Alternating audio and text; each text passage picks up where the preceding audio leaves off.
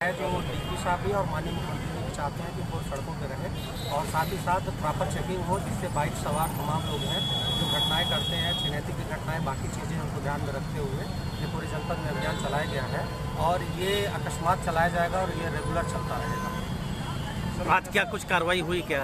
हाँ कुछ लोग गाड़ियों पे पुलिस के और प्रेस के लोगों लगा के चलते पाए गए थे।